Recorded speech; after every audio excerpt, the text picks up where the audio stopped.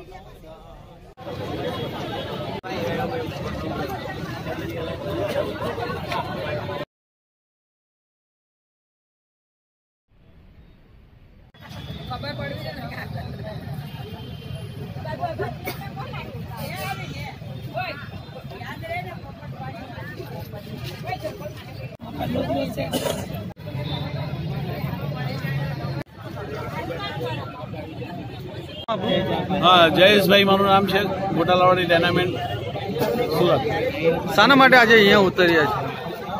અમારે જે ગોટાલાવાડી ટેનામેન્ટની અંદર જે જૂના ટેનામેન્ટ થઈ ગયેલા હતા એ એસએમસી એસએમસી દ્વારા રીડેવલપમેન્ટ પ્લાનની એ લોકોએ યોજના ઘડી હતી. એની અંદર builder builder ISKCON ISKCON builder જે છે એમની સાથે એ લોકોએ કોન્ટ્રાક્ટ આપીને એ રીડેવલપમેન્ટનો પ્લાન એ લોકોએ તૈયાર કરેલો હતો અને એની અંદર એ લોકોએ અમારી સાથે નક્કી કરેલું હતું કે તમને તમને સાત વર્ષ સુધી ભાડા આપવામાં ત્રણ વર્ષ સુધી, જ્યાં સુધી બાંધકામ નહીં થાય, ત્યાં સુધી તમને ભાડામાં આપવામાં આવશે અને તમારું તમને મકાન તૈયાર થઈ જાય એટલે તમારું મકાન તમને પરત આપી દેવામાં આવશે. આજે દોઢ વર્ષથી અમારા મકાનો ખાલી કરાવ્યા છે અને છેલ્લા એક વર્ષથી અમને ભાડું પણ રેગ્યુલર આવ્યું છે અને છેલ્લા છેલ્લા પાંચ મહિનાથી અમને ભાડું આપવામાં આવ્યું નથી. અને હવે વારંવાર એસએમસી અને એસએમસીએ આની અંદર એમઓયુ કરેલો છે. એટલે અમે એસએમસી કમિશનરને વારંવાર રજૂઆત કરવા છતાં એનો કોઈ નિકાલ આવતો નથી.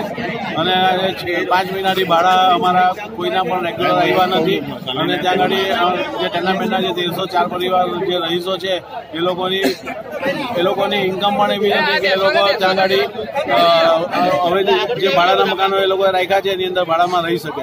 અત્યારે દરેક રહીશોની પરિસ્થિતિ દયનીય થઈ ગઈ છે અને આજે લોકોએ ફૂટપાથ પર અને બ્રિજની નીચે રહેવાનો વારો વારો આવી ગયો છે. કારણ કે દરેક રહીશોની ઇન્કમ એટલી નથી કે જે સાત હજાર ભાડું ભરી શકે.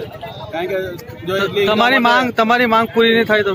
અમારી માંગમાં એ છે કે અમારું જે જ્યાં ગાડી એ લોકોએ રીડેવલપ માટે મકાન એ લોકોએ તોડ્યું છે તો ત્યાં ગાડી અમારું જે પ્રમાણે અમને એમઓયુ કરીને આપવામાં આવ્યો છે પાત્રતા પત્ર આપ્યું છે એ એના આધારે અમારું મકાન અમને વ્યવસ્થિત રીતે પાછું બંધાવીને ઝડપથી ઝડપથી મળી જાય અને જ્યાં સુધી એ મકાનનું કામકાજ ચાલે અને બાંધકામ ચાલે ત્યાં સુધી અમને રેગ્યુલર રેગ્યુલર અમને ભાડું મળતું રહે.